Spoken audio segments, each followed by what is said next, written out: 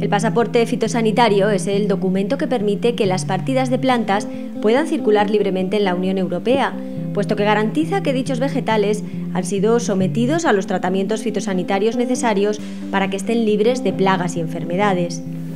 Hasta ahora, el Ministerio de Agricultura había derivado la responsabilidad a las distintas comunidades autónomas. Ellos definían el formato que debía integrarse en las etiquetas. A partir del próximo 14 de diciembre de 2019, todos los países integrantes de la Unión Europea deberán utilizar el mismo formato.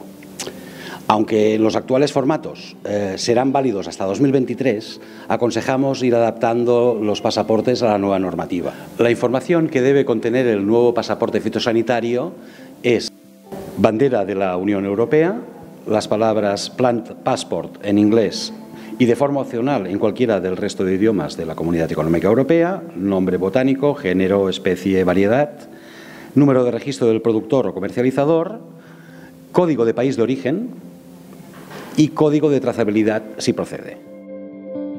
Las plantas de vid, cítricos o las semillas hortícolas siempre deben llevar el pasaporte al entrar en la cadena comercial, puesto que se consideran de mayor riesgo fitosanitario pero hay otras plantas en las que solamente es obligatorio en función del destino de la mercancía.